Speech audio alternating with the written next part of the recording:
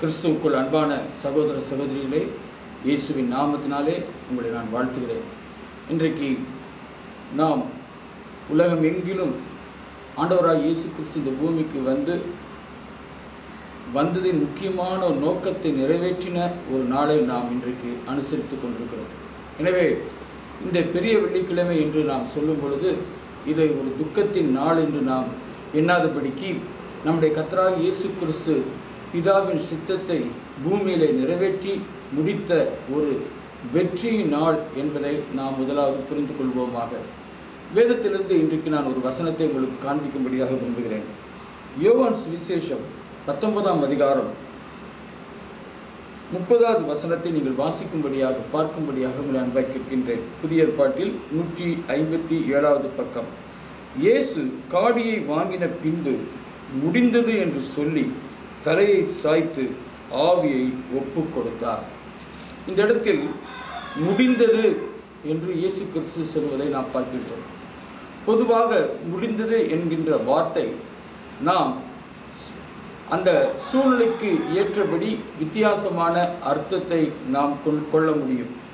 குறிப்பாக ஒருவேளை ஒருவர் மிகவும் ஆபத்தான கட்டத்தில் மிகவும் போராடி கொண்டிருக்கிறார் என்று வைத்துக்கொள்வோம் அவரை அல ஆஸ்பத்திரியில் வைத்து மருத்துவம் செய்து கொண்டிருக்கும் பொழுது ஐசியூவில் இருக்கும் பொழுது மிகவும் மனதில் கலக்கமான ஒரு சூழ்நிலை இருக்கும் பொழுது பல நாட்கள் அவர் அப்படியே இருந்து இருந்து இருந்து கடைசியில் அவர் மறுத்து விட்டார் என்றால் என்ன சொல்லுவோம்? எல்லாம் முடிந்து விட்டது. நாம் செய்த முயற்சிகள் எல்லாம் முடிவுக்கு வந்துவிட்டது என்று சொல்லி அங்கே முடிந்தது என்று சொல்லக்கூடியது இதுவென்றால் அது ஒரு எதிர்மறையான ஒரு அர்த்தத்தை சொல்லக்கூடியதாக இருக்கிறது. எனவே இன்றைக்கு கத்ரா இயேசு கிறிஸ்து சிலுவையில் மறித்தது எல்லாம் முடிந்தது என்று சொல்லக்கூடியது ஒரு எதிர்மறையான முடிவா இல்லையா என்பதை நாம் அறிந்து கொள்ள வேண்டுமென்றால் அது எதிர்மறையான முடிவு அல்ல என்பதை நான் உங்களுக்கு சொல்லும்படியாக விரும்புகிறேன். சமீபத்தில் டெல்லியில் நான்கு பேரை தூக்கிலிட்டதை நாம் அறிந்திருக்கிறோம்.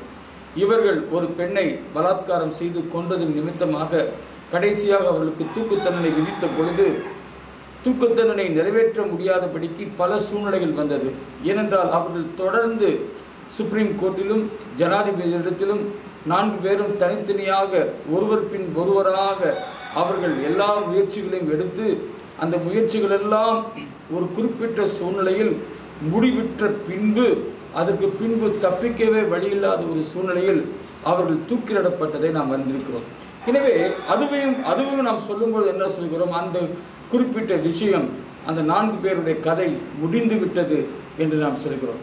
அது எதிர்மறையான ஒரு முடிவை குறித்து நமக்கு சொல்லக்கூடியதாக இருக்கிறது. ஆனால் நம்முடைய கத்ரா இயேசு கிறிஸ்து இந்த பூமியில் அவர் மறிக்கும் பொழுது கடைசியாக தன் தலையை சாய்த்து ஆவியை அவர் பிதாவினிடத்தில் ஒப்புக் கொடுத்த பொழுது முடிந்தது என்று ஒரு வார்த்தையை அவர் சொல்கிறார். அந்த சூழ்நிலையில் இன்றைக்கு ஒருவேளை உங்களுடைய வாழ்வில் இயேசு கிறிஸ்துவனுடைய இயேசு கிறிஸ்து என்ன சிலுவையில் முடித்து விட்டார் என்பதை உங்களுக்கு நான் சொல்லும்படியாக விரும்புகிறேன். அதற்கு முன்பாக அந்த காலகட்டத்திலும் வாழ்ந்த சீஷர்கள் அவரை நம்பி இருந்தவர்கள் அவர்கள் எல்லாம் முடிந்தது என்பதை பார்த்த பின்பு சோர்வுற்ற நிலையில் இருந்ததை குறித்து வேதத்திலே நாம் வாசிக்கிறோம். நீங்கள் லூகாஸ் விசேஷத்திலே நீங்கள் இருபத்தி நாலாம் அதிகாரத்தில் நீங்கள் எடுத்து வாசித்து பார்ப்பீர்கள் என்றால் அங்கே எம்மாவு சீஷர்களை குறித்து நாம் வாசிக்கிறோம். இந்த எம்மாவு சீஷர்கள் மிகவும் துக்கப்பட்ட நிலையில் தாங்கள் நம்பியிருந்த ஒரு இரட்சகர் அவர் எங்களை ரட்சிப்பார் என்று நம்பியிருந்தோம். ஆனால் அவர் போய்விட்டார் என்று சொல்லி மிகுந்த வருத்தத்தோடே கூட இருக்கும் பொழுது அங்கே உயிர்த்தெழுந்த கத்ரா இயேசு கிறிஸ்து தோன்றி அவர்களுக்கு தன்னை வெளிப்படுத்தினார் என்று சொல்லி வாசிக்கிறோம். எனவே இன்றைக்கு எல்லாமே முடிந்து விட்டது என்று எதிர்மை எதிர்மறையான ஒரு நிலையில் நாம் இருக்க வேண்டிய அவசியமில்லை. இந்த செய்தியை கேட்கின்ற அருமையான தேவனுடைய பிள்ளைகளே உங்களுடைய வாழ்க்கையில் இயேசு கிறிஸ்து எல்லாம் முடிந்தது என்று சொன்னதின் விளைவு நம்முடைய வாழ்க்கையில் எப்படிப்பட்ட நிகழ்வுகளை அது ஏற்படுத்தக்கூடியதாக இருக்கிறது என்பதை உங்களுக்கு நான் சொல்லும்படியாக விரும்புகிறேன். அன்புக்குரியவர்களே நீங்கள் வேதத்தை நீங்கள் எடுத்து வாசித்து பார்ப்பீர்கள் என்றால் முதல் முறையாக தேவன் மனிதனை சிருஷ்டித்திருந்த அந்த சூழ்நிலையில் ஏதேன் தோட்டத்திலே மகிழ்ச்சியோடு கூட அவர்கள் இருந்தார்கள் என்று சொல்லி பார்க்கிறோம். மகிழ்ச்சியோடு இருந்த அவர்கள் ஒரு குறிப்பிட்ட சூழ்நிலையில் ஒரு நாள் பகலின் குளிர்ச்சியான வேளையிலே தேவன் தோட்டத்தில் அவர்கள் உலாவுகிற சத்தத்தை அவர்கள் கேட்ட பொழுது போய் மறைந்து கொண்டார்கள் என்று எழுதப்பட்டிருக்கிறது. அங்கே வேதத்திலே ஆதாம் இங்கே இருக்கிறாய்? என்று ஆண்டவர் கேட்கும் பொழுது சொல்கிறார் நான் பயந்து ஒளிந்து கொண்டிருக்கிறேன் என்று சொல்கிறார். இந்த பயத்திற்கான காரணம் என்ன என்பதை நாம் வேதத்தில் ஆராய்ந்து பார்க்கும் பொழுது இந்த பயத்திற்கான காரணம் மிக முக்கியமான காரணம். வேதம் மிக தெளிவாய் சொல்கிறது தேவன் எப்படிப்பட்டவராய் இருக்கிறார் என்று ஒன்றியவான் புஸ்தகத்தில் ஒன்றாம் அதிகாரத்தில் ஐந்தாம் வசனத்தில் வேத வசனம் மிக தெளிவாய் சொல்கிறது தேவன் ஒளியாய் இருக்கிறார். அவர் ஒளியாய் இருப்பதினாலே மனிதன் தன்னுடைய வாழ்வில் இருளை அவன் அனுமதித்ததினாலே இருளுக்கு ஒளியினிடத்தில் வருவதற்கு பயம் இருந்ததை குறித்து நாம் வாசிக்கிறோம். இந்த இருள் என்று சொல்லக்கூடியது எது? ஆண்டவராகிய தேவன் மனுஷனிடத்தில் என்ன சொன்னார்? நீ இந்த பழத்தை புசிக்கக்கூடாது என்று சொல்லி நன்மை தீமை அறியக்கூடிய மரத்தின் கனியை புசிக்க வேண்டாம் என்று சொல்லி சொன்ன பின்பும் கீழ்ப்படியாமல் என்றைக்கு மனிதன் முதல் முறையாக பாவம் செய்தானோ பாவம் செய்த உடனே ஒளியினிடத்திற்கு வருவதற்கு அவனுக்கு பயம் வந்து விட்டது. எனவே இந்த இன்றைக்கு கத்ராய் இயேசு கிறிஸ்துவனிடத்தில் வருவதற்கு உங்களுக்கு பயம் இருக்கும் என்றால் அதற்கு ஒரு முடிவை ஆண்டவர் இன்றைக்கு ஏற்படுத்தி வைத்திருக்கிறார். இந்த பயத்திற்கான காரணம் என்ன? இந்த இருளுக்கான காரணம் என்ன? பாவம் என்பதை நாம் அறிந்திருக்கிறோம். எனவே பாவத்தின் நிமித்தம் மனிதன் தேவனண்டை நெருங்கி சேர முடியாதபடிக்கு மிகுந்த பயத்தோடு கூட அவன் இருப்பதை நாம் பார்க்கிறோம். அநேக மக்களுடைய வாழ்க்கையை நீங்கள் கவனித்து பார்ப்பீர்கள் என்றால் அவருடைய வாழ்க்கையிலே பயம் இருக்கிறது. இல்லாவிட்டால் குற்ற உணர்வு இருக்கிறது. குற்ற உணர்வு இருக்கக்கூடிய எந்த ஒரு மனிதனும் ஒளியினிடத்திற்கு வருவதற்கு பயப்படுகிறான். ஆனால் குற்ற உணர்வுள்ள மனிதன் ஒரு சத்தியத்தை நான் அவன் அறியாததினால் தான் பயப்படுகிறான். நன்றாய் கவனியுங்கள். ரெண்டு பேர் ஆண்டவருக்கு விரோதமாக தவறு செய்கிறார்கள். அதாவது தவறு என்று சொல்லும் பொழுது ஒருவன் ஆண்டவரை காட்டி கொடுத்து விட்டான் யூதாஸ் காரியத்து. இன்னொருவன் இயேசுவே எனக்கு தெரியாது என்று சத்தியம் பண்ணிவிட்டார். அவர் யாரென்றால் மறுதளித்து விட்டார் பேது ரெண்டு பேரும் இயேசுவை நிராகரித்த பின்பு இயேசு எனக்கு தெரியாது என்று சொன்ன சொன்ன பின்பு ரெண்டு பேர் உள்ளத்துக்குள்ளும் இப்பொழுது குற்ற உணர்வு வருகிறதை நாம் பார்க்கின்றோம். ஆனால் குற்ற உணர்வில் ரெண்டு வகை இருக்கிறதை நான் உங்களுக்கு சொல்லும்படியாக விரும்புகிறேன். இங்கே பேதனுடைய வாழ்க்கையில் அவன் தான் செய்தது தவறு என்று உணர்கிறான். ஆனால் அந்த உணர்வு ஆங்கிலத்தில் கன்விக்ஷன் என்று சொல்கிறோம் அது தேவனிடத்தில் அவனை வழி நடத்துகிறது. அவன் இயேசுவனிடத்தில் திரும்பி வந்துவிட்டான் என்று சொல்லி பார்க்கிறோம். ஆனால் இன்னொரு மனிதன் உங்களுக்கு தெரியும் யூதாஸ் காரியூத் அவனுக்குள் கன்விக்ஷன் அல்ல கண்டமினேஷன் என்று சொல்லக்கூடிய ஒன்று இருந்தது நிமித்தமாக. அவன் தேவனிடத்தில் அந்த குற்ற உணர்வோடு கூட பயத்தோடு கூட வர முடியாதபடிக்கு அவன் என்ன செய்கிறான்? இயேசுனிடத்தில் வராதபடிக்கு அவன் நான்று கொண்டு செத்துவிட்டான் என்று சொல்லி பார்க்கிறோம். எனவே இதை கேட்டுக்கொண்டிருக்கிற அன்பான தேவனுடைய பிள்ளைகளே நீங்கள் ஒருவேளை உங்களுடைய வாழ்வில் நீங்கள் செய்த தவறுகளின் நிமித்தம் பாவங்களின் நிமித்தம் நான் இனிமேல் தேவனிடத்தில் வர முடியாது என்று நீங்கள் எல்லாம் முடிந்துவிட்டது இனிமேல் நான் தேவனிடத்தில் வரவே முடியாது என்று நீங்கள் எண்ணிக்கொண்டிருப்பீர்கள் என்றால் கர்த்தராகி இயேசுவின் நாமத்தினாலே இன்றைக்கு சிலுவையில் மறித்த இயேசுவின் நாமத்தினாலே அவருடைய பெயரை கொண்டு நான் உங்களுக்கு சொல்கிறேன். உங்களுக்கு இன்றைக்கு ஒரு நம்பிக்கை இருக்கிறது. அந்த நம்பிக்கை என்ன? இயேசு சொன்ன வார்த்தை முடிந்து விட்டது. என்ன முடிந்து விட்டது? தேவனுக்கும் மனுஷனுக்கும் இடையே இருந்த அந்த பிரிவினையை கத்தர் இன்றைக்கு சிலுவையில் இந்த பாவத்தின் நிமித்தம் பாவம் செய்த நிமித்தம் மனசாட்சியில் அவர்கள் வாதிக்கப்பட்டு அவர்கள் குற்ற உணர்வோடு கூட வாழ்ந்து கொண்டிருக்க வேண்டிய அவசியம் இல்லை இன்றைக்கு அந்த மனசாட்சிக்குள் இருக்கக்கூடிய குற்ற உணர்வை நீக்குவதற்கான ஒரு மருந்து கல்வாரி சிலுவையில் உங்களுக்காக ஆயத்தம் பண்ணப்பட்டிருக்கிறது. நன் அன்புக்குரியவர்களே ஒருவேளை நம்முடைய ஆடையில் ஏதாவது ஒரு கரை பட்டு விட்டால் அதை நாம் சோப்பை கொண்டு நீக்க முடியும். நம்முடைய சரீரத்தில் ஒரு அழுக்கு என்றால் சோப்பை கொண்டு நாம் நீக்க முடியும். ஆனால் நம்முடைய மனசாட்சிக்குள் ஒரு குற்ற உணர்வு வந்துவிட்டால் அதை நீக்குவதற்கு இந்த உலகத்தில் வேறு எந்த ஒரு பரிகாரம் இல்லை என்பதை உங்களுக்கு சொல்லும்படி விரும்புகிறேன். நீங்கள் செய்யக்கூடிய எந்த ஒரு நற்கிரியைகளும் உங்களுடைய வாழ்வில் உங்களுடைய மனசாட்சி அது சுத்திகரிக்க முடியாது. நீங்களே உங்கள் பாவத்திற்கான தீர்வை பரிகாரத்தை நீங்கள் நோன்பு இருப்பதின் மூலமாகவோ இல்லாவிட்டால் உங்கள் சரீரத்தை நீங்கள் மாட்டிக்கொள்வதன் மூலமாக வதைத்துக் கொள்வதன் மூலமாகவோ இல்லாவிட்டால் நீங்கள் பல தான தர்மங்களை செய்வதன் மூலமாகவோ உங்கள் மனசாட்சிக்குள் இருக்கக்கூடிய குற்ற உணர்வை உங்களால் நீக்க முடியாது. ஆனால் வேதம் என்ன சொல்கிறது? இயேசு கிறிஸ்துவின் ரத்தம் சகல பாவங்களையும் நீக்கி நம்மை சுத்திகரிக்க அது வல்லமுள்ளதாக இருக்கிறது. கர்த்தர் நம்மை பார்த்து சவால் விட்டு சொல்கிறார் உங்கள் பாவங்கள் ரத்தாம்புர சிவப்பா இருந்தாலும் அது பஞ்சை போல வெண்மையாகும். எனவே உலகம் முழுவதிலும் இருக்கக்கூடிய சகல மனிதர்களை குறித்து வேதம் என்ன சொல்கிறது? நாம் எல்லோரும் பாவம் செய்து தேவ மகிமை அற்றவர்கள் ஆனோம். எனவே ஒவ்வொரு மனிதனும் தேவன் அண்டை வர முடியாதபடி அவனுடைய மனசாட்சியிலே அவர்கள் குத்தப்பட்ட நிலையில் பாவி என்ற ஒரு உணர்வோடு கூட இருக்கிறார்கள். அதற்கான ஒரு முடிவு. அதுதான் எல்லாம் முடிந்தது என்று இயேசு சொல்லும் பொழுது அது என்ன சொல்கிறார்? என் மகனே நீ இனிமேல் அப்படி என் நண்டை வருவதற்கு நீ பயப்பட வேண்டிய அவசியம் இல்லை. உனக்கு அதற்கு ஒரு முடிவை ஏற்படுத்தியிருக்கிறேன் என்று சொல்கிறார். எப்படி அந்த முடிவு ஏற்படுத்தப்பட்டது என்பதை குறித்து எவ்ரேயர் புஸ்தகத்திலிருந்து நான் வாசிக்கும்படியாக விரும்புகிறேன். எவ்ரேயருக்கு எழுதின நிறுவம் பத்தாம் அதிகாரத்திற்கு உங்கள் வேத புத்தகத்தை நீங்கள் தயவாக திருப்பும்படியாக உங்களை அன்பாய் கேட்கிறேன். எவ்ரேயர் பத்தாம் அதிகாரம் பத்தொன்பது இருபது வசனங்களை நான் உங்களுக்காக வாசிக்கிறேன். கவனியுங்கள் ஆகையால் சகோதரரே நாம் பரிசுத்த ஸ்தலத்தில் பிரவேசிப்பதற்கு நன்றாய் கவனியுங்கள் பரிசுத்த ஸ்தலத்தில் பிரவேசிப்பதற்கு நன்றாய் கவனியுங்கள் பரிசுத்த ஸ்தலத்தில் பிரவேசிப்பதற்கு. தேவன் இன்றைக்கு என்ன செய்திருக்கிறார்? நமக்கு ஒரு வழியை உண்டு பண்ணியிருக்கிறார். இதற்கு முன்பாக நான் பரிசுத்த ஸ்தலத்தில் பிரவேசிக்க முடியாதபடிக்கு நமக்கு ஒரு தடை இருந்தது. இன்றைக்கு கத்த நம்மை பார்த்து சொல்கிறார் நீ பயப்படாதே அந்த தடையை நான் எடுத்து விட்டேன் முடிந்து விட்டது தடை உனக்கு முடிந்து விட்டது என்று ஆண்டவர் சொல்கிறார். நன்றாய் கவனியுங்கள் பரிசுத்த ஸ்தலத்தில் பிரவேசிப்பதற்கு இயேசுவானவர் தமது மாம்சமாகிய திரையின் வழியாய் புதிதும் ஜீவனும் உள்ளதான மார்க்கத்தை நமக்கு உண்டின பண் உண்டு பண்ணினபடியா அந்த மார்க்கத்தின் வழியாய் பிரவேசிப்பதற்கு அவருடைய இரத்தத்தினாலே நமக்கு தைரியம் உண்டாயிருக்கிறபடியினார் என்று போடப்பட்டிருக்கிறது. எனவே இன்றைக்கு தைரியத்தோடு கூட ஆண்டுடைய சமூகத்துக்கு நீங்கள் வாருங்கள். தைரியத்தோடு கூட பிதாவின் பிதாவின் இடத்தில் நீங்கள் வர முடியும்.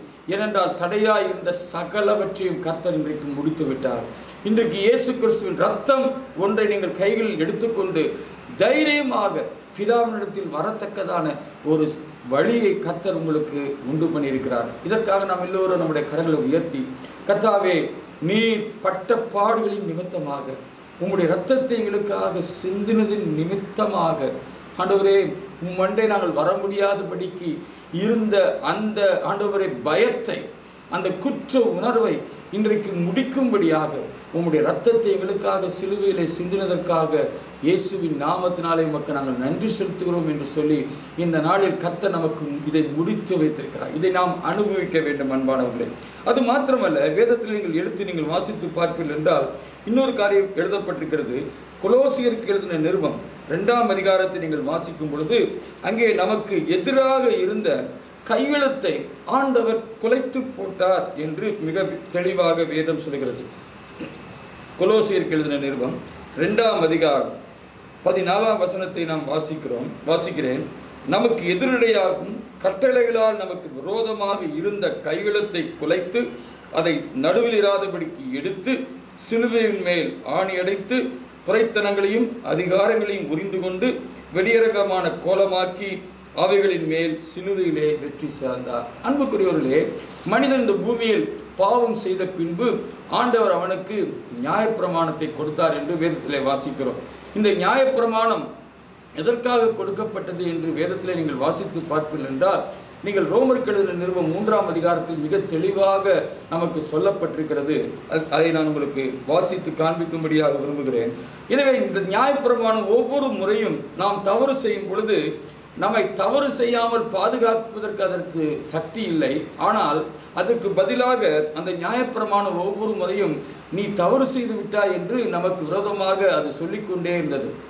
ஒவ்வொரு முறையும் நியாயப்பிரமாணம் ஒரு கையெழுத்து எப்படி ஒரு நீதிபதி கையெழுத்திட்டார் கையெழுத்திட்டு ஒரு தீர்ப்பை கொடுத்து விட்டால் அதற்கு பின்பு நாம் தப்பிக்க முடியாதோ? அதுபோல நியாயப்பிரமாணம் நமக்கு விரோதமாக ஒவ்வொரு முறையும் நீ பாவி என்று தன்னுடைய கையெழுத்தை அது போட்டுக்கொண்டே இருந்தது. அதற்கான தீர்ப்பை அது எழுதி கொண்டே இருந்தது. என்ன தீர்ப்பு?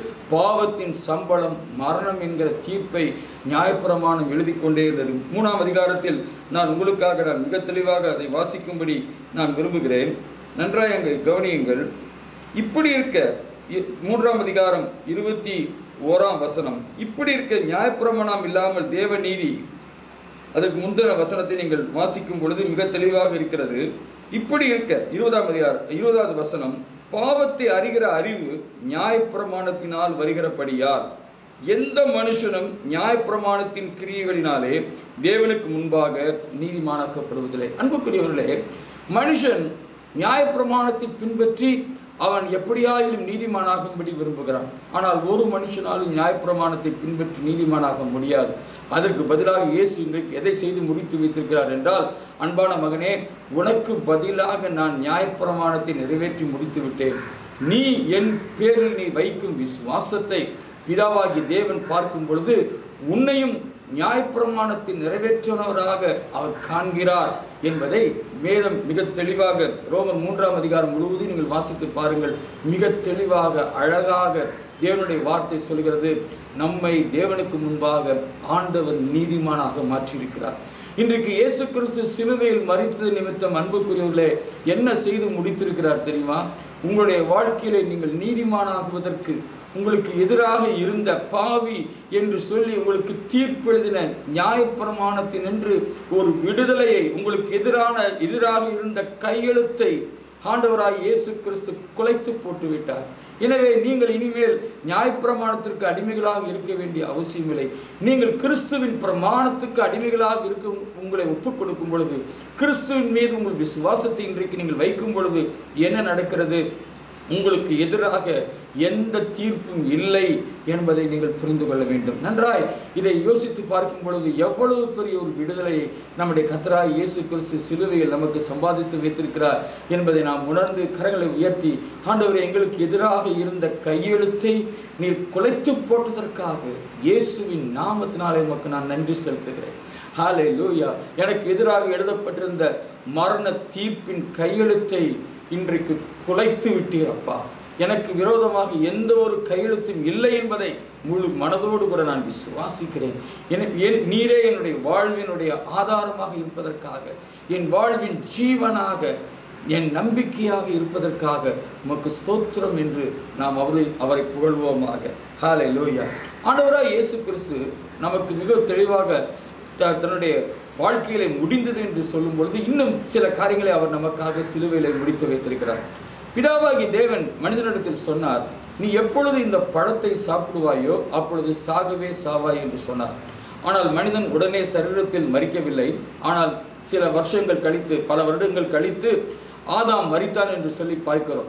ஒரு தொள்ளாயிரம் வருஷத்துக்கு அருகில் அவன் சென்ற பொழுது அவன் மறித்து போய் விட்டான் என்று வேதத்திலே வாசிக்கிறோம். ஆனால் நம்முடைய வாழ்க்கையிலே நாம் பார்க்கும் பொழுது அந்த ஆயுசு நாட்கள் எல்லாம் இப்பொழுது சுருங்கி போய் மிக சில வயதிலே அவர்கள் பல மனிதர்கள் இறப்பதை நாம் பார்க்கிறோம். சின்ன வயதில் பலர் இறக்கிறார்கள்.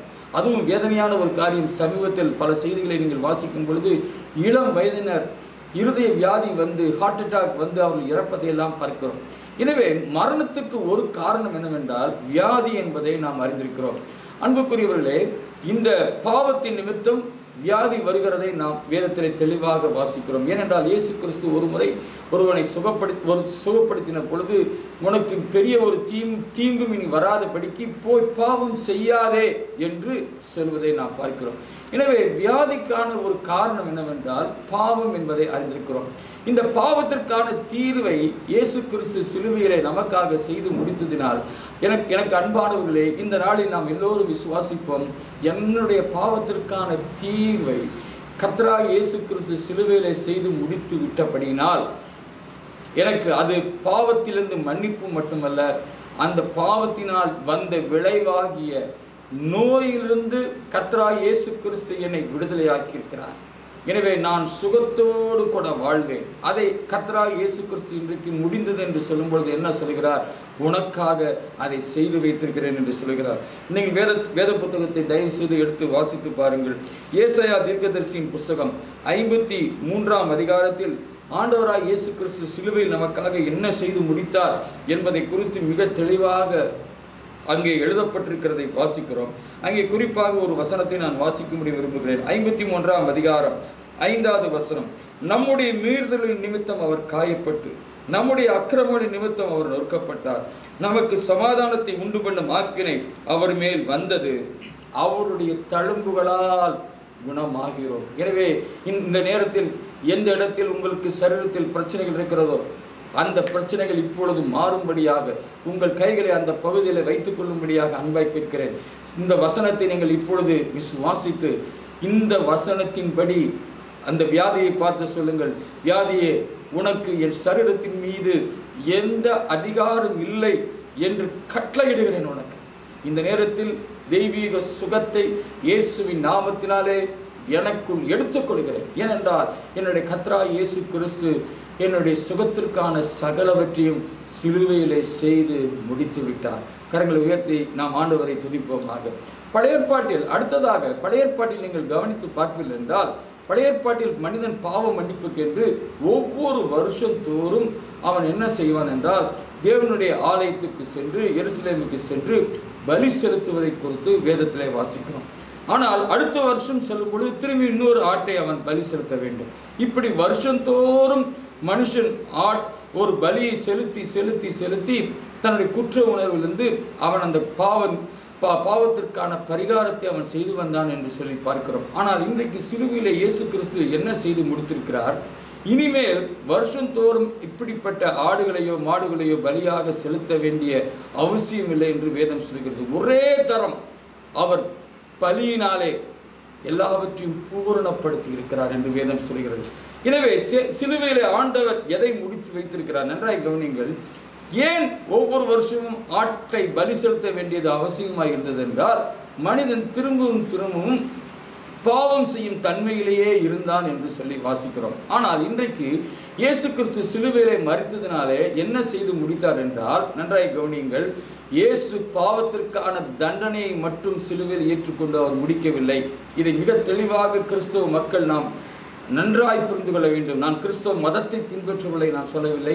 மறுபடியும் பிறந்த ஒவ்வொரு கிறிஸ்தவர்களுக்கும் நான் சொல்லும்படியாக விரும்புகிறேன். அன்புக்குரியவர்களே கிறிஸ்தவம் என்பது ஒரு மதம் அல்ல இயேசு கிறிஸ்து நம்முடைய பாவங்களை நீக்குவதற்காக வந்த மெய்யான தேவனாக அவர் இருக்கிறார். இந்த பூமியில் இயேசு கிறிஸ்து என்ன செய்தார் என்றால் மிக முக்கியமாக நமக்கு ஒன்றை செய்திருக்கிறார். அதைத்தான் உங்களுக்கு நான் காண்பிக்கும்படியாக விரும்புகிறேன். நீங்கள் தயவாக அதை கவனிக்கும்படியாக உங்களை அன்பாய் கேட்கிறேன். அவர் என்ன செய்தார்? ரோமருக்கு எழுதின நிருபம் ஆறாம் அதிகாரத்தில் ஆறாம் வசனத்தை நீங்கள் வாசிக்கும்படியாக உங்களை அன்பாய் கேட்கிறேன். இயேசு கிறிஸ்து சிலுவையில் என்ன செய்து முடித்திருக்கிறார்? பாவத்திற்கான பரிகாரத்தை மட்டும் அவர் செய்து முடிக்கவில்லை. இன்னொரு முக்கியமான ஒரு காரியத்தை அவர் செய்திருக்கிறார். ரோமர் ஆறாம் அதிகாரம் ஆறாம் வசனம் வாசிக்கிறேன். நாம் இனி பாவத்துக்கு ஊழியம் செய்யாதபடி பாவ சரீரம் ஒளிந்து போகும் பொருட்டாக நம்முடைய பழைய மனுஷன் அவரோடே கூட சிலுவையில் அறையப்பட்டதென்று அறிந்திருக்கிறோம். கரங்களை உயர்த்தி கத்தரை துடிப்போம் நம்முடைய பழைய மனுஷன் நன்றாய் கவனியுங்கள். இயேசு சிலுவையில் மறிக்கும் பொழுது அவர் சிலுவையில் தொங்கிக் கொண்டிருக்கும் காட்சியை நாம் பார்க்கிறோம். அது எதற்கு அதை பார்க்கும் பொழுது நமக்கு வேதனையாக இருக்கிறது. ஏனென்றால் இயேசு எவ்வளவு வேதனைப்பட்டார் என்பதை நாம் அங்கு புரிந்து கொள்கிறோம். ஆனால் அன்புக்குரியவர்களே அங்கே சிலுவையில் அவர் தொங்கிக் கொண்டிருக்கும் பொழுது அவர் மட்டும் தொங்கவில்லை என்று வேதம் சொல்கிறது. பிதாவாகி தேவன் என்ன செய்திருக்கிறார்? இயேசுவுக்குள் நம்முடைய பழைய மனிதனையும் வைத்து இயேசு சிலுவையில் மறித்த பொழுது என்ன நடந்ததென்றால் நம்முடைய பழைய மனிதனை ஆண்டவர் கொன்று போட்டுவிட்டார். இந்த பழைய மனிதன் தான் நமக்குள் நம்முடைய சரீரத்திற்குள் இருக்கும் பாவ வல்லமையோடு கூட சேர்ந்து நம்மை இயக்கி நம்முடைய சரீரத்தின் மூலமாக பாவ செயல்களை செய்ய வைக்கக்கூடிய காரியம் இந்த பழைய மனிதனுக்குள் தான் இருக்கிறது. எனவே பழைய மனிதன் இரு இருக்கின்ற வரையில் நாம் தொடர்ந்து பாவம் செய்து கொண்டே தான் இருப்போம்.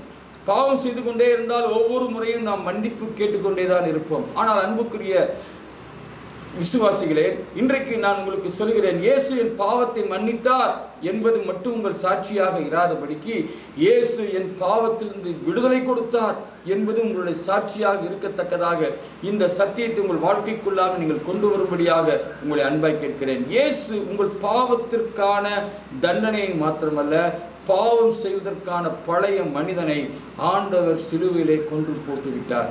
எனவே எல்லாம் முடிந்தது என்று சொல்லும் பொழுது நாம் மிகுந்த மகிழ்ச்சியோடு இருக்க வேண்டும். நான் இனிமேல் வெற்றியோடு கூட வாழ முடியும். ஏனென்றால் எனக்குள் பழைய மனிதன் இல்லை. இப்பொழுது எனக்குள் புதிய மனிதன் இருக்கிறான் என்று வேதம் தெளிவாக சொல்கிறது. எனவே நான் இனிமேல் பாவத்திற்கு அடிமையாக கடனாளியாக இருக்க வேண்டிய அவசியமில்லை என்பதை நாம் விசுவாசிப்போமாக கரங்களை உயர்த்தி ஆண்டவரை துதிப்போம். ஆண்டவரே இப்படிப்பட்ட ஒரு முடிவை என்ற பழைய மனிதனுக்கான ஒரு முடிவை இன்றைக்கு நீ சிலுவையிலே செய்து முடித்ததற்காக இயேசுவின் நாமத்தினாலே நான் உமக்கு நான் நன்றி செலுத்துகிறேன் என்று நாம் சொல்லுவோமாக. இப்படி ஆண்டவர் பல காரியங்களை நமக்காக சிலுவையிலே முடித்து விட்டார் ஆனால் விசுவாசிகளான பின்பும் இயேசுவை ஏற்றுக்கொண்ட பின்பும் இதில் ஒரு சில அனுபவங்கள் தான் நமக்கு இருக்கிறது. ஒருவேளை நம்முடைய பாவம் மன்னிக்கப்பட்டது என்கிற நிச்சயம் நமக்கு இருக்கும். ஆனால் முழுவதுமாக பாவத்திலிருந்து நமக்கு விடுதலை பெறாமல் இருக்கலாம்.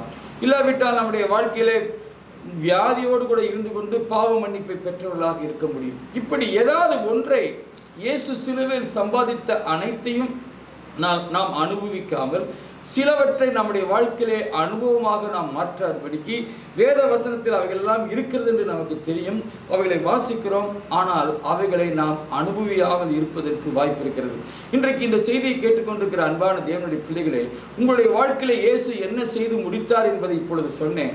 ஆனால் அது மட்டும் போதாது அதை எப்படி அனுபவமாக்க வேண்டும்? இது மிக மிக முக்கியமானது. இந்த அனுபவமாக்குவதற்கு விசுவாசம் வேண்டும் என்பது நிச்சயமாய் உங்களுக்கு நான் சொல்லுகிறேன் அது உங்களுக்கு தெரியும். ஆனால் நான் விசுவாசிக்கிறேன் விசுவாசிக்கிறேன் என்று சொன்ன பின்பும் என்னுடைய வாழ்வில் ஏன் அது அனுபவமாக மாறாமல் இருக்கிறது என்பது சிலருக்கு கேள்வியாக இருக்கலாம். எனவே அதற்கான ஒரு பதிலை உங்களுக்கு முதலாவது சொல்லும்படியாக விரும்புகிறேன். அன்புக்குரியவர்களே கத்ரா இயேசு கிறிஸ்து எல்லாம் முடிந்தது என்று அவர் சொல்லும் பொழுது அதை எங்கு செய்து வைத்திருக்க அந்த முடிவு முடிந்த காரியங்கள் எங்கு இருக்கிறது எப்படிப்பட்ட சூழ்நிலையில் இருக்கிறது என்றால் அது ஆவியின் சூழ்நிலையில் ஆவிக்குரிய மண்டலத்துக்குள் ஆண்டவர் சகலவற்றையும் நமக்கென்று ஆயத்தம் பண்ணி வைத்திருக்கிறார். அப்படி ஆயத்தம் பண்ணி வைத்திருக்கிறவர்களை காணக்கூடிய உலகத்தில் நாம் காணக்கூடிய சரீரத்தோடு வாழ்ந்து கொண்டிருக்கிறோம். அவைகளை நமக்குள் அனுபவமாக்க வேண்டும் என்றால் ஆவிக்குரிய ஆவிக்குரிய உலகத்துக்குள் இருக்கக்கூடிய இந்த உண்மைகள். என்ன உண்மை? இயேசு நம்முடைய நமக்காக வழியை ஆயத்தம் பண்ணி பிதாவினிடத்தில் செல்லத்தக்கதான ஒரு வழியை அவர் ஏற்படுத்தி வைத்திருக்கிறார். வியாதிக்கான ஒரு தீர்வை அவர் ஏற்படுத்தி வைத்திருக்கிறார். கையெழுத்தை குலைத்து போட்டு விட்டார்.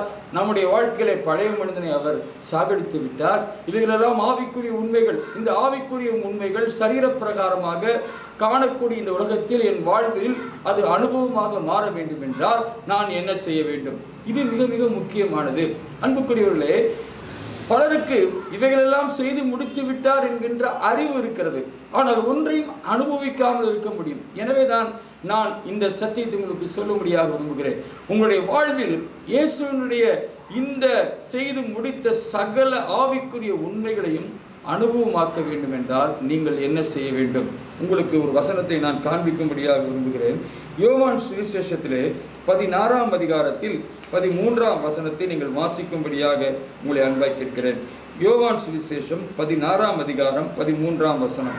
சத்திய ஆவியாகிய அவர் வரும்பொழுது சகல சத்தியத்திற்குள்ளும் உங்களை நடத்துவார்.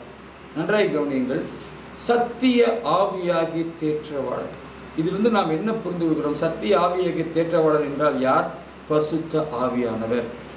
பரிசுத்த ஆவியானவர் இல்லாமல் ஆவிக்குரிய சத்தியங்களை சத்தியம் என்று சொல்லும் பொழுது ஆங்கிலத்தில் ரியாலிட்டி என்று சொல்வோம். ரியாலிட்டி என்றால் தத்ரூபமாக இருக்கக்கூடிய ஒன்று.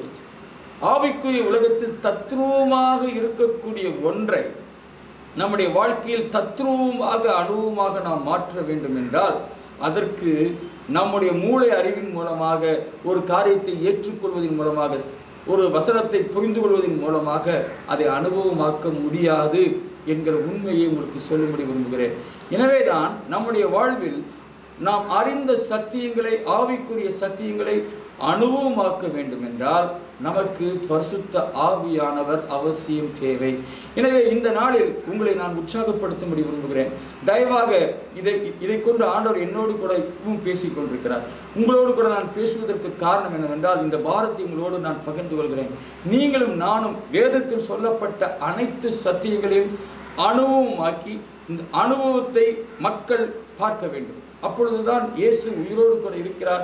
இயேசு மெய்யான தேவன் என்பதை இந்த உலக மக்கள் அறிந்து கொள்வார்கள். எனவே நம்முடைய வாழ்க்கையில் பல சத்தியங்களை நம்முடைய மூளை அறிவில் அறிந்திருப்பது முக்கியமல்ல அன்பானவர்களே. அவைகள் எல்லாம் நம்முடைய வாழ்க்கையின் அனுபவமாக்குவதற்கு உதவி செய்வ உதவி செய்வதற்காகத்தான் இன்றைக்கு பசுத்த ஆவியானவர் நம்மோடு கூட இருக்கிறார். எனவே இந்த நேரத்தில் நாம் எல்லோரும் பசுத்த ஆவியானவரை வெறும் அந்நிய பாஷை பா பேசுவதற்கோ இல்லாவிட்டால் வரங்களை கிரியை செய்ய வைப்பதற்கு மட்டும் பரிசுத்தாவியானவர் என்று நாம் எண்ணாதபடிக்கு அவைகளெல்லாம் அவர் செய்தாலும் அதோடு கூட இந்த வேதத்தை என் வாழ்க்கையிலே மெய்மையாக்குவதற்கு உண்மையாக்குவதற்கு தத்ரூபமாக அனுபவிப்பதற்கு எனக்கு உதவி செய்யத்தான் பர்சுத்தாவியானவர் என்னோடு கூட இருக்கிறார். எனவே இந்த நேரத்தில் பரசுத்தாவியானவரை நாம் எல்லோரும் துதிப்போம். பர்சுத்தாவியானவரை நான் நமக்கு நான் நன்றி செலுத்துகிறேன். உங்களுடைய வேதத்தில் எழுதப்பட்டிருக்கிற அனைத்து சத்தியங்களும் என் வாழ்க்கையிலே உண்மையாவதற்கு உதவி செய்ய எனக்குள்ளாக நீர் இருப்பதற்காக உமக்கு ஸ்தோத்திரம். சகல சத்தியத்துக்குள்ளும் நடத்தும் பரிசுத்தாவியானவரே நீர் எனக்குள்ளாக இருப்பதற்காக ஸ்தோத்திரம். நன்றாய் கவனியுங்கள் இந்த பரிசுத்தாவியான என்ன செய்வார் என்றால் நன்றாய் கவனியுங்கள் உங்களுக்கு இதை விளக்கும்படியாக விரும்புகிறேன். ஆவிக்குரிய வாழ்க்கையிலே பல பல காரியங்கள் உண்மையாக இருந்தாலும் நாம் அவைகளை பார்க்க முடியாமல் இருக்கிறோம். ஆவிக்குரிய வாழ்க்கையிலே நாம் ஒன்றை இருப்பதை பார்க்க வேண்டும் என்றால் நம்முடைய கண்கள் திறக்கப்பட வேண்டும். நன்றாய் கவனியுங்கள் எப்படி ஒரு குருட குருடன் மூலமாக ஒரு பொருளை பார்க்க முடியாதோ அதே போல ஆவிக்குரிய கண்கள் திறக்கப்படாமல் நம்மால் என்ன செய்ய முடியாது? தேவனுடைய ஆவிக்குரிய உண்மைகளை தத்ரூபமாக பார்க்க முடியாது. தத்ரூபமாக ஒன்றை பார்க்காவிட்டால் அது இருக்கிறது என்று நம்மால் ஏற்றுக்கொள்ள முடியாது. எனவே நம்முடைய ஆவிக்குரிய கண்கள் திறக்கப்பட வேண்டும். இதற்குத்தான் பரிசுத்த ஆவியானவர் நமக்கு உதவி செய்யக்கூடியவராக இருக்கிறார். இதற்கு ஒரு ஒரு ஒரு உதாரணத்தை உங்களுக்கு சொல்லும்படியாக விரும்புகிறேன். நீங்கள் ரெண்டு ராஜாக்கள் புஸ்தகம் ஆறாம் அதிகாரத்தில் நீங்கள் வாசித்து பார்ப்பீர்கள் என்றால் அங்கே தீர்க்கதரிசி என்ன செய்கிறார் என்பதை குறித்து உங்களுக்கு நான் ஒரு வசனத்தை காண்பிக்க முடியாக விரும்புகிறேன். ரெண்டு ராஜாக்கள் புஸ்தகம் ஆறாம் அதிகாரத்திற்கு நீங்கள் வரும்படியாக உங்களை அன்பாய் கேட்கிறேன். அதில் மிக தெளிவாக எலிசா தீர்க்கதரிசியை குறித்து வாசிக்கிறோம். என்ன நடக்கிறது? எலிசா தீர்க்கதரிசியினுடைய வேலைக்காரன் ஓடி வந்து நம்மை நாம் சுட் நாம் இருக்கின்ற இடத்தை சுற்றிலும் அங்கே நம்மை கைது செய்வதற்கு பிடித்து கொண்டு போவதற்கு ராஜாவின் சேவர்கள் படைகள் படைகள் முற்றிலுமாக நம்மை சூழ்ந்திருக்கிறது என்று சொல்கிறார். இதை அவனுடைய கண்கள் கண்டது. அவன் பயப்படுகிறான். பயப்படுகிற சூழ்நிலையில் எலிசா தீர்க்கதரிசி என்ன செய்கிறார்? கத்தரை நோக்கி ஜெபிக்கிறார். என்ன ஜெபிக்கிறார்? ஆண்டவரே இவனுடைய கண்களை திறந்தரல் இவனுடைய கண்ணை திறந்தரலும் என்று சொல்லி ஜெபிக்கிறார். அப்பொழுது அவனுடைய கண்கள் திறக்கப்பட்ட பொழுது அவன் அங்கே சத்துருக்கள் நிற்பதை மட்டும் பார்க்கவில்லை. நன்றாய் கவனிங்கள் அதற்கு முன்பாகவே அவர் சொல்கிறார் அவர்களோடு கூட இருப்பவர்களை பார்க்கலும் நம்மோடு இருக்கிறவர்கள் அநேகர்.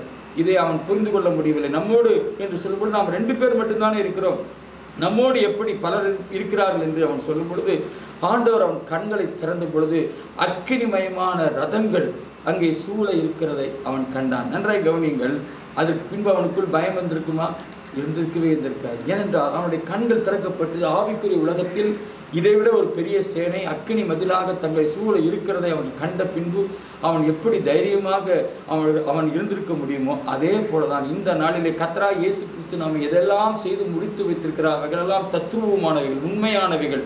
அவைகளெல்லாம் ஆவிக்குரிய மண்டலத்துக்குள் நமக்கு இருக்கிறது. ஆனால் அவைகளை நாம் தத்ரூபமாக பார்க்க வேண்டும். பார்க்க வேண்டும் என்றால் நமக்கு தேவை ஆவியின் கண்கள் திறக்கப்பட வேண்டும். எனவே இந்த நாளில் ஆண்டவர் என்ன செய்தார் என்று நாம் நினைத்து மகிழ்ச்சி அடைவதை பார்க்கிலும் ஆண்டவர் அவைகள் எல்லாவற்றையும் நான் பார்க்கும்படி தத்ரூபமாக பார்க்கும்படி பரிசுத்த ஆவியானவரே என்னுடைய மனக்கண்களை திறந்தருள்வீராக. ஒரு முறை நீ நாம் தத்துவமாக கத்த நமக்காக செய்து வைத்ததை நாம் பார்த்துவிட்டால் நம்மால் அதை தொட முடியும். நம்மால் அதை எடுத்துக்கொள்ள முடியும். எனவே இன்றைக்கு நம்முடைய வாழ்க்கையிலே அவைகளை அனுபவமாக்குவதற்கு இந்த நாளில் இந்த நாளில் இருந்து நாம் ஒரு சிறு தீர்மானத்தை எடுப்போம். என்ன தீர்மானம் என்றால் ஒவ்வொரு நாளும் நான் ஆவியானவரிடத்தில் நான் உறவு கொண்டு எந்த சத்தியங்களெல்லாம் வேதத்தில் நான் வாசிக்கிறேனோ இவைகளெல்லாம் என்னுடைய வாழ்விலே நிஜமாக்குவதற்கு அது நிஜமாகும் வரைக்கும் என் கண்கள் திறக்கப்படும் வரைக்கும் ஆண்டவர் உங்களுடைய சத்தியத்தின் வெளிப்பாட்டை எனக்கு தாரும். ரெவலேஷன் என்று சொல்வார்கள். ஆண்டவர் உங்களுடைய சத்தியத்தின் வெளிச்சத்தை வெளிப்பாடாக நான் என் ஆவியில் புரிந்து கொண்டு அது நிஜமாக இருக்கிறது என்ற தைரியத்தோடு கூட செயல்படுவதற்கு இன்றைக்கு எனக்கு உதவி செய்வீராக என்று சொல்லி நாம் ஜெபிப்போம் என்றால் இன்றைக்கு இயேசு கிறிஸ்து சிலுவையில் என்னெல்லாம் செய்து முடித்து விட்டாரோ அவைகள் எல்லாம் உங்கள் வாழ்வினுடைய அனுபவமாக மாறும். எனவே அன்புக்குருவிலே அதெல்லாம் அனுபவமாகும் பொழுது உங்கள் வாழ்க்கையை பிறர் பார்க்கும் பொழுது அந்த மாற்றத்தை கண்டு எப்படி உங்களுக்கு இந்த மாற்றம் வந்தது என்று சொல்லி கேட்கும் பொழுது நாம் கத்தராக இயேசு கிறிஸ்துவை குறித்து சொல்ல முடியும். எனவே இந்த நாளிலே நாம் கர்த்தர் நமக்கு என்ன செய்தார் என்பதையும் தியானிப்போம். அதே நேரத்தில் அவைகளெல்லாம் நாம் அனுபவமாக்குவதற்கு பரிசுத்த ஆவியானவர் நம்முடைய மனக்கண்களை திறந்து தத்துருவமாக அவைகளை கண்டு அவைகளை ஆவிக்குரிய ரீதியில் நாம் தொட்டு ஆவிக்குரிய ரீதியில் அவைகளுக்கு சுவாசத்தின் மூலமாக நமக்குள் எடுத்துக்கொண்டு வரும் பொழுது நம்முடைய வாழ்வுக்குள் அது நிஜமாவதாக என்று சொல்லி நான் உங்களை வாழ்த்துகிறேன். இந்த நேரத்தில் நாம் எல்லோரும் கண்களை மூடி நாம் செபிப்போம் எங்கள் அன்பின் பிதாவே சிலுவையில் எங்களுக்காக எல்லாவற்றையும் செய்து முடித்ததற்காக உமக்கு நன்றி செலுத்துகிறோம். முடிந்தது என்று சொல்லி எல்லாவற்றையும் முடித்து விட்டீர். என்னெல்லாம் முடித்திருக்கிறேன் என்பதையும் உங்களுடைய வேதத்தில் எழுதி வைத்திருக்கிறேன். இவைகள் ஒன்றையும் நாங்கள் அனுபவியாமல் இருக்கக்கூடாது அப்பா இவைகள் எல்லாவற்றையும் நாங்கள் எங்கள் வாழ்க்கையில ஒவ்வொரு வினாடியும் அனுபவிப்பதற்கு எங்களுக்கு உதவி செய்ய எங்களுக்குள் இருக்கும் பசு தாவியாளவரே உண்மை போற்றுகிறோம். உம்மை கனப்படுத்துகிறோம். நீர் இல்லாமல் ஒரு வினாடி கூட எங்களால் இவைகள் எல்லாம் அனுபவிக்க முடியாது. எனவே எங்களுடைய உறவு உம்மோடு கூட நாங்கள் ஐக்கியம் கொண்டு ஆண்டவரை இவைகள் எல்லாவற்றையும் எங்கள் வாழ்விலே நாங்கள் அனுபவிக்கத்தக்கதாக இந்த சத்தியத்திற்குள் எங்கள் வாழ்வை நடத்துவீராக என்று நாங்கள் செபிக்கிறோம். நசரேனாகி இயேசுவின் நாமத்தினாலே எங்கள் பிதாவாகி தேவனை அதற்கான அனுக்கிரகம் அதற்கான வெளிச்சம் அதற்கான உற்சாகம் அதற்கான வழிநடத்துதல் இந்த செய்தியை கேட்டுக்கொண்டிருக்கிற ஒவ்வொருவருக்குள்ளும் வருவதாக என்று நான் கட்டளையிட்டு நான் செபிக்கிறேன். அவ்வியானவரே நீர் நீர் நீர் இல்லாமல் இவைகளை நாங்கள் எங்கள் வாழ்க்கையிலே தத்ரூபமாக அனுபவிக்க முடியாது. எனவே நீரே எங்களுக்கு வேண்டும் வேண்டும் வேண்டும் வேண்டும் வேண்டும் வேண்டும். உம்மோடு எங்கள் ஐக்கியம் இருப்பதாக இருப்பதாக என்று சொல்லி நாங்கள் செபிக்கிறோம். உங்களுடைய கரத்தின் ஆளுகைக்கு எங்களை ஒப்புக் கொடுக்கிறோம். சகல துதி கன மகிமை உமக்கு எடுக்கிறோம் மீட்பர் இயேசுவின் நாமத்தினால் ஜெபிக்கிறோம் பிதாவே ஆமே ஆமை கர்த்தராகிய இயேசு கிறிஸ்து உங்களை ஆசீர்வதிப்பாராக. தொடர்ந்து நம்முடைய சபையினுடைய நிகழ்ச்சிகளை நம்முடைய யூடியூப்பிலும் காணுங்கள். பிறருக்கும் இதை அறிமுகம் செய்யுங்கள். கர்த்தருடைய கிருவை உங்களோடு கூட இருப்பதாக. ஆமே ஆமென்.